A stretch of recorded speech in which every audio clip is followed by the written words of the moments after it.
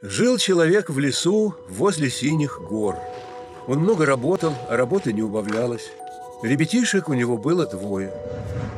Чук и Гек. Чу, мама все увидит, убери. Что вы мне за цирк на работе устроили?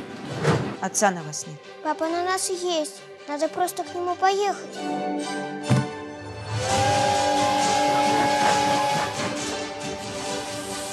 Не отстаем!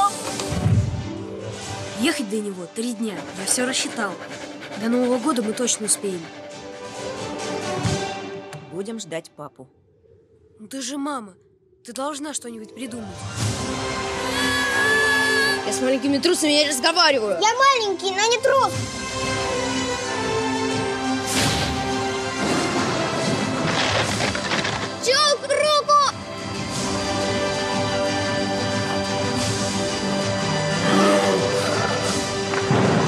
Настоящий братчук.